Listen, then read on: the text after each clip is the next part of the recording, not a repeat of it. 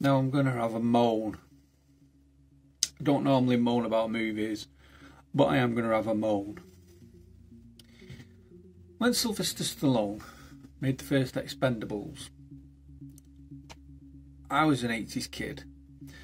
So when it came to 80s movies and 80s action stars, The Expendables was an amazing thought, an amazing mind meld of creation to, to do. And as an action movie, it was amazing to see all the old stars together in a movie. Then the second one came along. They added Van Damme as a baddie, probably played one of his best roles. Again, it was a decent movie. Then the third one came along, and it was at this point that it started to pee, pee me off a little bit because they added a female UFC fighter. Um, I can't think of her name off the top of my head. Um, she's a bit cocky in real life. She's got reason to be. She was a UFC champion.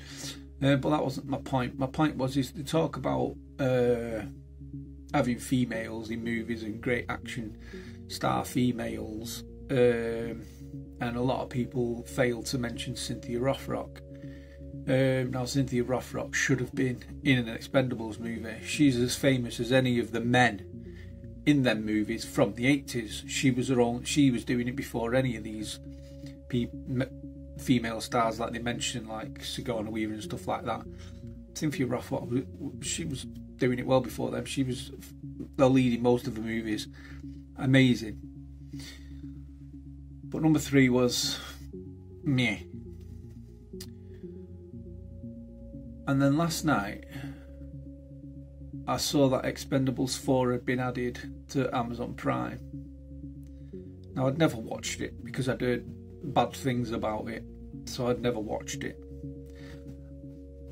and I watched it last night.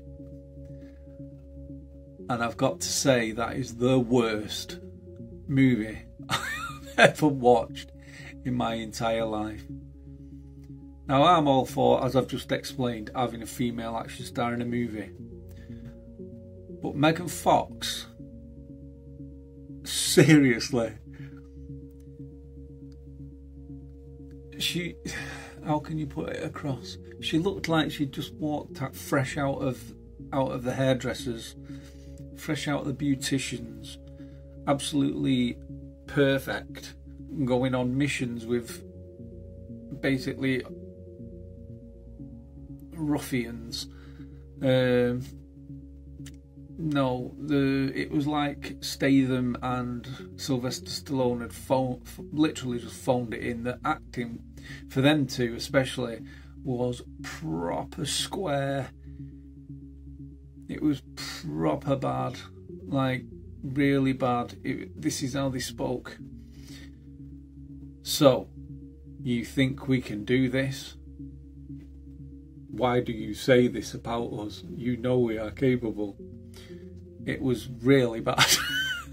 now, Sylvester Stallone wasn't in the movie for long, he was only in the beginning. Obviously, he was doing some other things while they were filming this.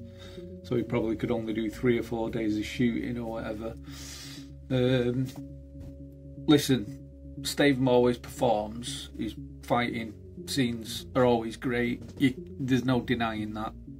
We all know he's good at that. That's what he's best at doing. Um, action, fighting, action scenes. That's he's really good at that. But he's acting in this. Oh my god! And also, let's not mention the green screens because this was like watching YouTubers make green screens. It was horrendous, horrendously bad. The story, the, there was a, a, supposed twist at the end which you could see coming a mile away. Um, that was awful.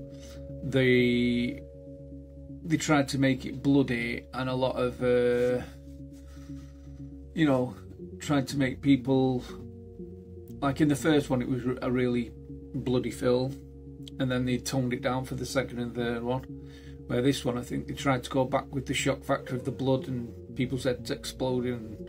Blood. But the trouble was, is they used I don't know what they used f- CapCut, maybe for the blood effects.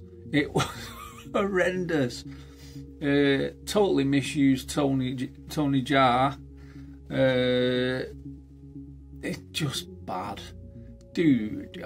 I, I can't explain how bad that movie was. And I'm not one for moaning about movies. Me, if I don't like a film, I'd, ne- I'd never make a video about it. But this one, I just had to say this is probably the worst movie I've ever seen, and I've seen some bad movies in my time. Uh, so don't, under any circumstances, watch Expendables 4 because it is shit. Over and out. See you in the next one.